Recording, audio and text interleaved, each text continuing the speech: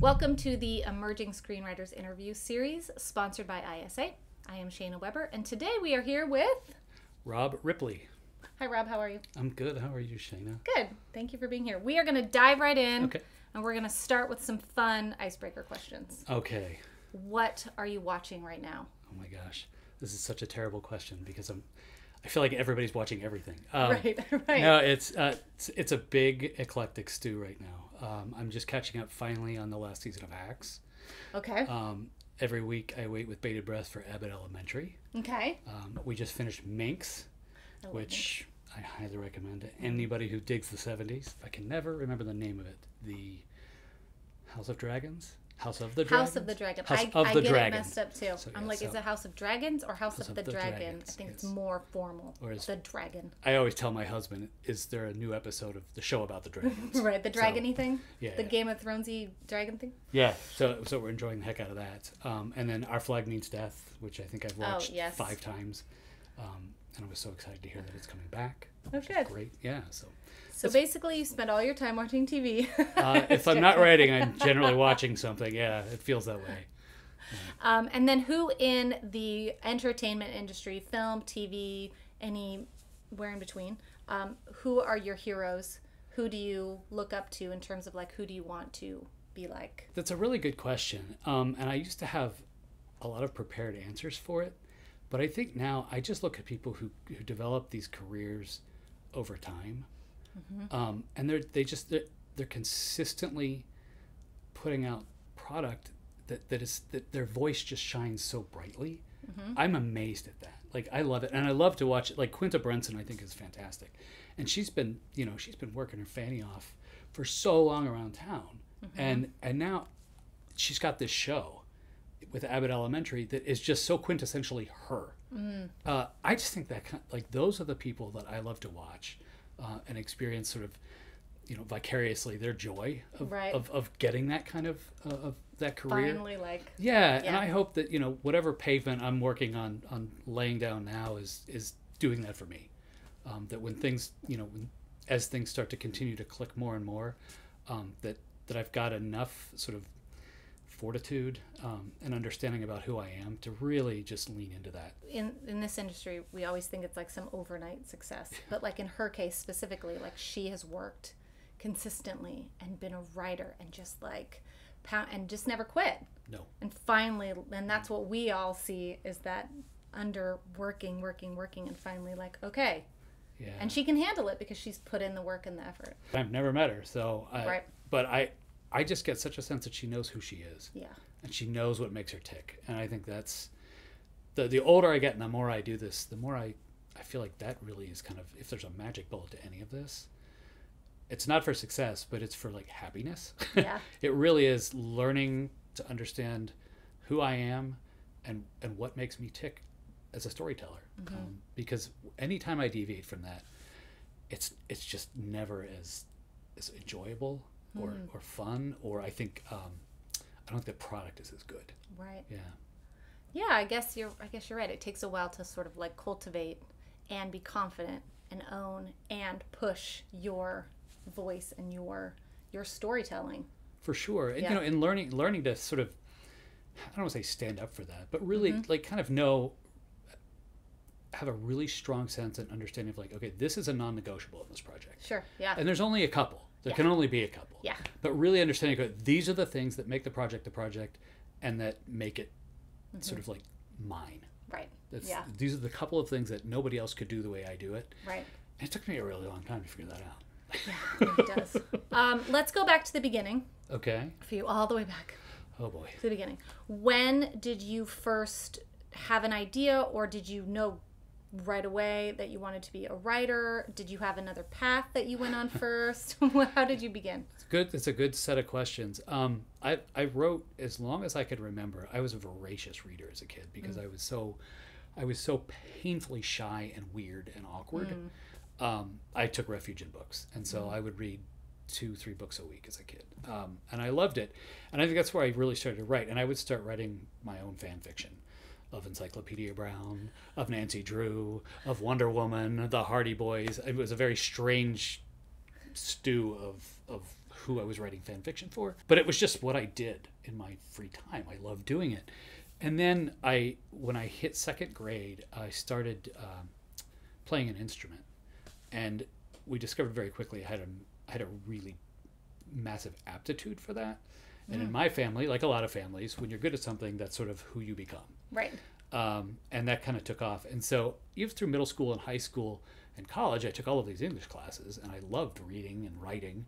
Um, but it was it was just not sort of a consideration because music weighed so heavily in my life. And then I had this infamous quarter life crisis, as my father likes to call it, um, at 26, and I completely melted down, and I quit music. I quit teaching. I sold everything I owned and moved to New York sight unseen, um, and fell into theater, and that's where I reconnected with writing again as a playwright. Wow. Yeah. Let's talk about that. So you say you fell into theater, but what does that mean? yeah, um, I was looking for. I had started. I had started doing a book. It's not so in vogue anymore, but it used to be. It was Julia Cameron's The Artist's Way. I've done that. Yes, Yeah. and I was so deeply unhappy. And I had talked to, but this was before I had moved to New York. I had talked to a friend of mine, an old high school friend, who had had massive success as a dancer in New York. And she and I had talked on the phone and hung up. And two days later, I got FedEx this book, The Artist's Way, with a note from her saying, "Promise me you won't do anything rash. Do this book first, and if you need anything, call me. Love, Lisa." I said, "Okay, what is this?" And so I started doing the exercises, and it led me back to to writing and theater, which I just really dug as a kid. Um, and so when I got to New York, I was like, well, what am I going to do? I spent the first, I think, three weeks living at a YMCA. I was like, I got to figure out what I'm going to do with my life. And so I just walked into a theater and I said, do you guys need help with anything? Whatever you need. I'll take tickets. I'll build sets. I, have got carpentry skills, whatever you need. And that's how I got into it. And then I would just sit and watch rehearsal after rehearsal after rehearsal. Wow. Yeah. How long were you in New York? Uh, it was only a few LA? years, and then I came back out here. My my family is up in the Bay Area now, Okay. and uh, um, to be closer to them. And uh, and I was out here for a few years. I was like, okay, well, it's entertainment. I, I'll make this shift. And very quickly, I was like, I need skills. I need really hard skills. So that's when I decided to. Um, I went back to, to school and got my master's degree in, Okay. in uh, dramatic writing. That's when everything kind of started. All right, so let's let's go from that point. Yeah. You've gotten your master's degree, and then you're like, "What am I doing? What were you doing?" My degree was two years. The summer between, I got an internship working for a production company run by one of our alumni out here. So it was great. I was I was a development intern, and then uh, it worked out really really well. And she said, "You know what? When you're done, come back. I'll hire you full time." So I did. So I spent I think five six years in development, working my way up um, to like a CE, and uh, and realized when I was like, "What am I doing? I just spent way too much time and money to get a degree in writing to go into development." Right. So, um, and I realized too that feature development wasn't quite for me because of the, the glacial pace. Uh, it wasn't really what thrilled me, but really, I was like, oh my gosh, I've got to do something. I got to get back into writing. And I got really lucky. I had optioned a book from a writer who she's since passed away, but she was, she could take two people to this residency in France for six weeks in the north of France. And that was my out of development. I was able to say, I'm sorry, I've got to go. I'm going to, you know, I'm going to, this is my two week notice because I'm going to go do this thing. Um, and that's, that's what happened. So that's kind of how I was able to get back into it. Right. Yeah. So when it comes to your writing, Mm-hmm. what do you write? What is your are you genre specific? Are you kind of all over the place? I'm not all over the place, but I'm not hardcore in one genre. Um, I tend to write dramedies, thrillers. That's sort of like where, at least the last few years, everything has sort of been circling, um, which is great. Uh, and I really love both of them. I've concentrated mostly on television the Okay. last the last three years or so, but I've also had a uh, weirdly what got me through the pandemic was a series of re- feature rewrites, which was terrific. Um, uh, so it's it's been great, but yeah, mostly I it's I stopped thinking too hard about genre. Um, I would I used to really get sort of wrapped around the axle about that um, because so much of what we're told is that you need to have 25 scripts in this specific genre, and, and I tried and I tried, but it I figured out was there just there's ideas that I tend to come back to and investigate over and over again, and sometimes it's in the same genre and sometimes it's not. My writing almost has um, some el- some underdog element, some element of social injustice being perpetrated, um, and it almost always revolves around some sort of family, whether it's nuclear or chosen. So I once I figured that out, it was I could breathe a lot easier. Um, Right. it made it made picking projects and then developing them um, much less angst filled for me. Um, but yeah, so it's you know I've dabbled in some other genres. Uh, like I love romantic comedies. It's it's hard to find those three things that I just mentioned that exist in that particular genre. Sure. Um, it's not very romantic or funny as social injustice. right. It's, I mean, and, you know, it's Can be, but, but yes. maybe one a one off. I optioned a book recently. Um, it's it's going to be a romantic dramedy. Okay. um, but it's it's against uh, the backdrop of baseball. So that's another version or another genre, eh, you know, sort of mini genre that I'm playing around in. How do you think your time being a musician, and I don't know what instrument you played, so you should tell us that. Um, how do you think that that has helped you in your screenwriting, or has it? Uh, it's helped me immeasurably for in a lot of different ways. Um, i- As a musician, there's there's a very strange discipline that goes with being a professional musician. It's very very strange, um, and I don't mean that negatively at all. But it requires so much time alone in a practice room with you and your instrument, and ultimately that that kind of taught me how to how to work that way Right. you know it's it's funny because i hear a lot of writers saying oh it's such a lonely experience and i i've just never experienced that because it just is how i've always worked since i was 13 or 14 Right. you know i would spend six or seven hours a day in a practice room by myself you know? Sure. the other part like more um, tactically it's i write very musically um, there's i use a lot of um, i think about script elements in in ways I think about different elements of music too, whether it's pacing, rhythm, Oh, right. tone, key, like all those things. There's I have a there's a there's just a version of it that has has built been built over time in my brain that I apply to writing. Um, and I usually when I talk if, talk to anybody about a script, it it's usually very heavily uh, reliant on those kinds of musical metaphors. I'm married to musicians. So I, I, I feel you, but I could not. I mean, writing music to me is like, what? What? It's just so like, you know what I mean? It's so just like tight that it's. I don't know choosing the right word. Choosing a word is hard enough. Choosing the right perfect word is like, I don't know what to do. it's very So- strange and with music like there's i think it's a little bit more limited in the, the best of ways Yeah. because there are only x number of notes Yeah, it's not. Right. And there's not endless possibilities. correct you know i mean it's the beauty is in the combining of it which creates Sure. endless versions of things which i love um, but it's not quite the same Yeah. yeah it's i think it's easier it's easier to get stuck trying to decide pick a word Yeah. than to say oh get- just just throw a d flat in there it's fine It's- So, how many scripts have you written now, and then how many are you? So, real, real honesty. How many scripts have you written versus how many do you are you shopping around or do you show? Or, if I go back, I mean, I don't know how far back I want to go because there was a chunk of scripts that it, it, it was just, it's sort of like, you know, when you're in middle school and you try to start to date. You're not really dating.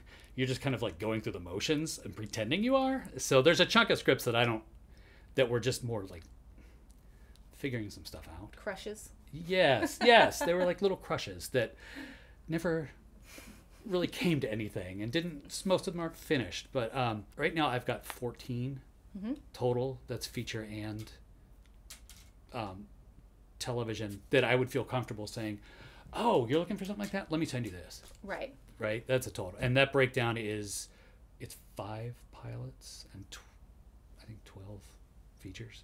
Oh, that's So, great.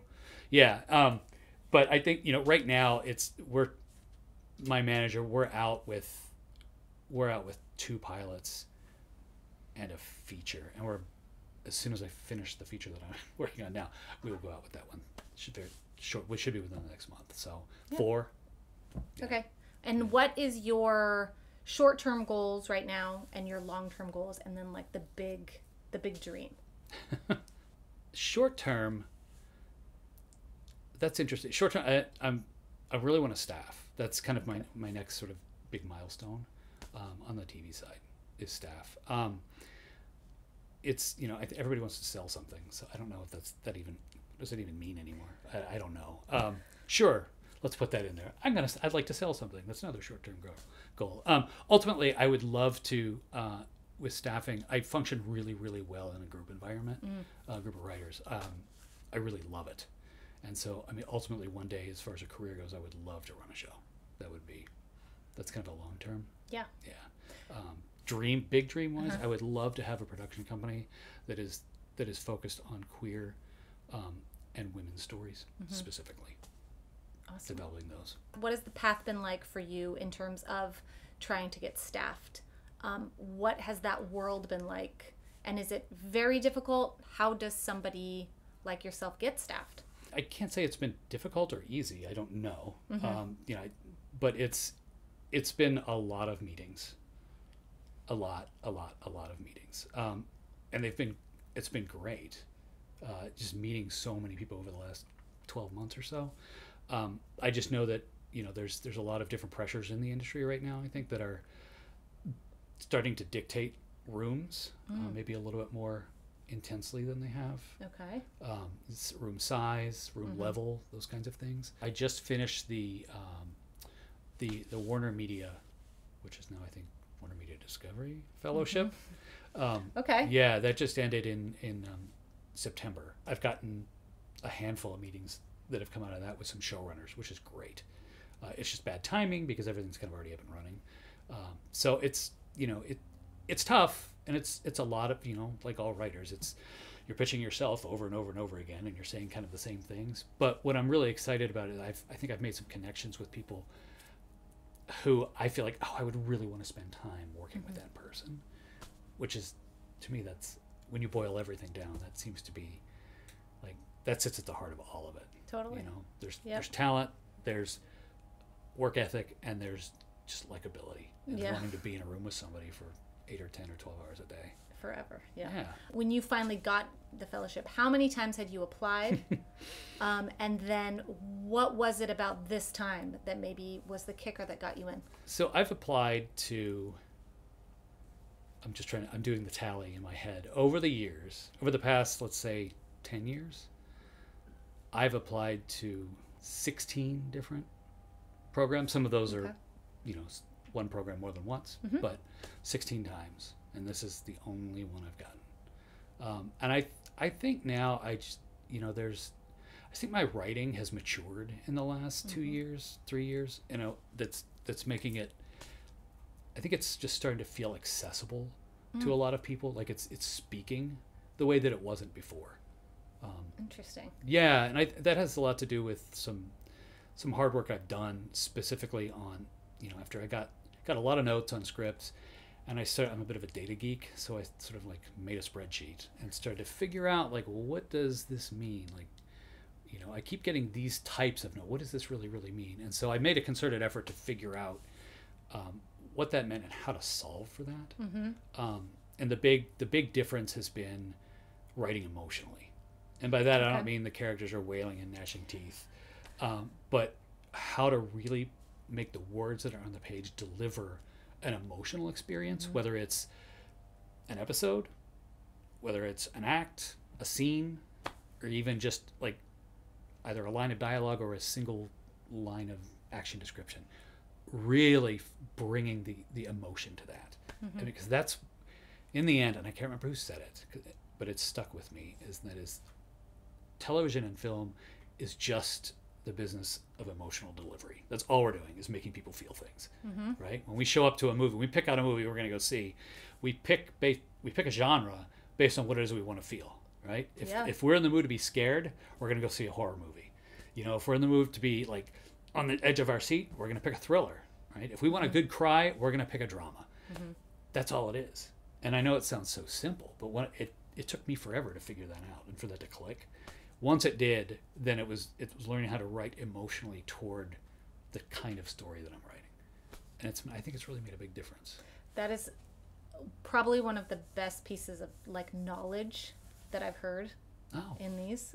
just because it's so true. When you, even when you're done with your script and you're pitching, when you're creating your pitch deck, when you're pitching verbally, when you're meeting with people, it is about emotion and it is about how do I connect with this person or how does this piece connect with that person so that they remember it and feel something and then they carry that with them Right. to whoever they have to pitch it to or sell it to or whatever and then it translates to the audience Well, you just So- hit, the, hit on the key, and that is they got to feel something to remember it, Mm-hmm. right? And I think as writers, we get so wrapped around the axle and focused, and it needs to happen, Mm-hmm. right? We've got to focus on plotting and Mm-hmm. structure and you know character arc and all of like it. That's those are the mechanics of what we do, right? But feeling is huge. Um, it was, I think, Shonda's masterclass. She was talking about. There's. I, I still laugh every time I think about it. She's like, it was about pitching, and she's like, and and I got to this point where I realized I, I was building up to this big romantic scene, and I hadn't written it, so I didn't I didn't know what to tell them. So all I said is, it's the most amazing, romantic, sexy scene you've ever seen, and then I just went on to the next thing, and I was like, oh my gosh, that's so smart, right? Because that's that's what we feel, right? and it's, the whatever feeling. they think of the most romantic sexy scene all of a sudden they're holding on to Right? that Yep. You know, executive A was like, oh, flowers by the beach, and executive B is like whips and chains, and executive C, is, you know, it's it's letting it fill it in. puppy I- good, yeah, and I think good writing does that anyway. Is it leaves room for either the reader and then eventually an audience to fill some stuff in on their own. yeah That's the most satis- for me. That's the most satisfying experience I get as a reader or a, a viewer. how did you first learn and be involved with isa my first involvement was with one of the table read my screenplay. Yeah, um, the f- the first time I won that, and I want to say it was 2016. It's been a while. Yeah, you guys have been carting me around for for a while now. Um, yeah, that's that's when I first encountered the organization. Uh, I, I was stunned. I won that, and amazingly enough, that winning that contest is what got me my manager there was there was a producer who loved the piece so much and said, "Oh my gosh, I think you know who would be great if let me hook you up with this manager because I think you guys would get along like gangbusters and mm-hmm. he'll love your stuff." And he did. And he and that is the industry right there yes, it's about so and so recommends you to so and so boom you know they love I mean? your work. Yeah. They see potential. Yeah.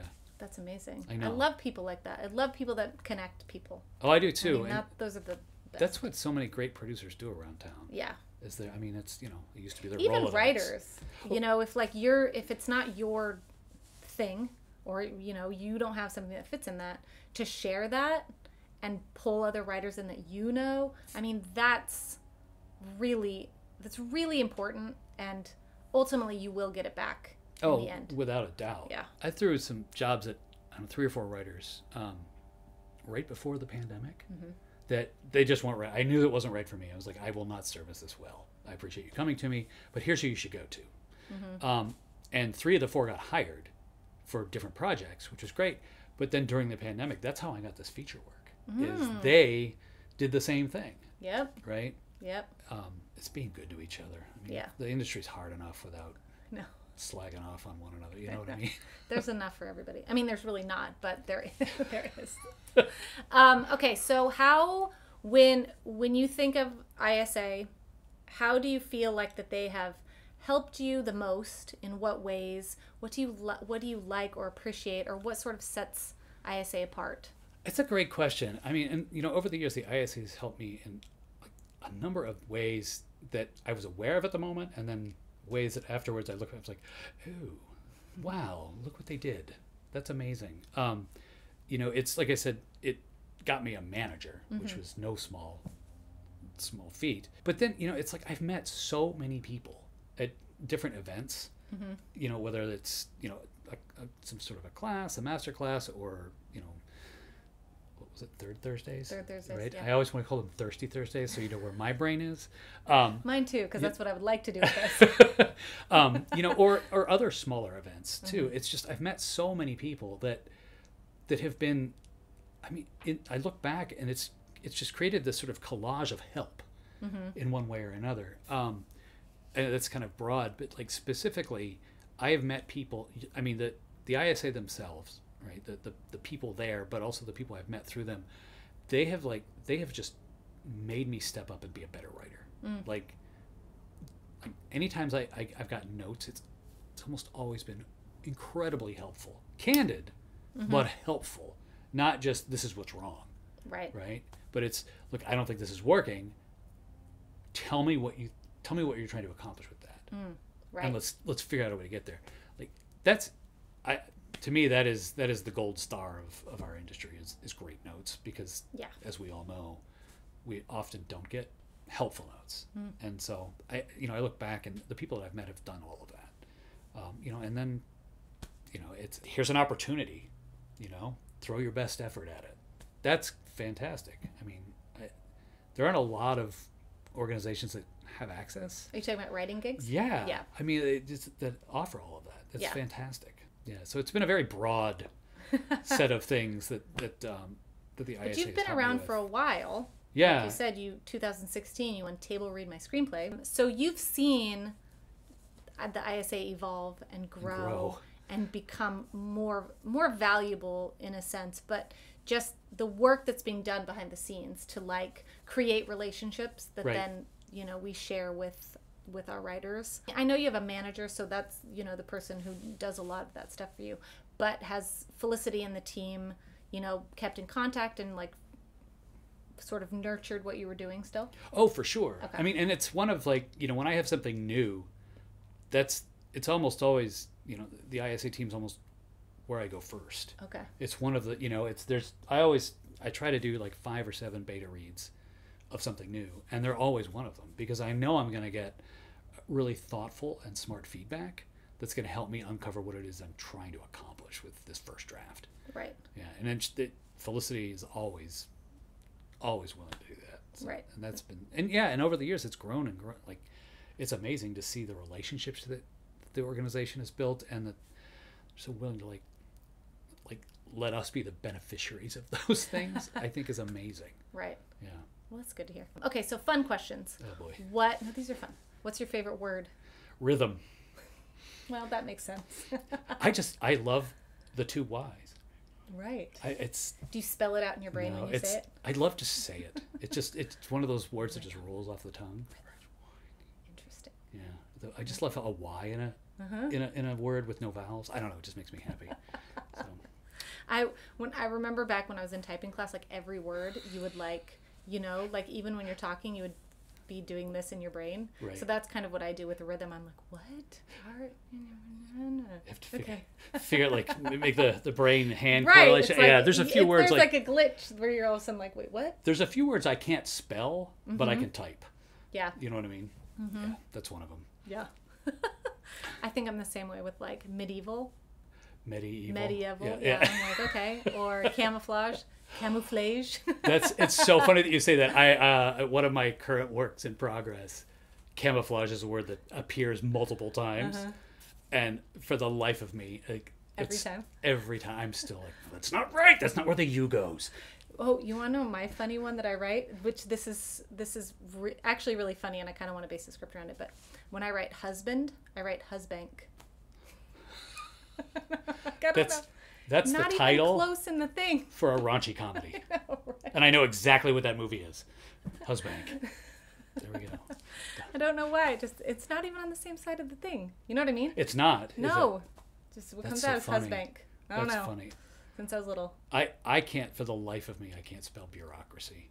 What is your least favorite, most annoying pet peeve, grammar or spelling error? bureaucracy it's it drives me crazy I, I can't get it right no matter how many i've like done flashcards to make How do you myself- spell it? no i'm not going to do that in front of people that's just mean I'm trying to think, and I feel like it's easy, but then I know I'm going to get it wrong.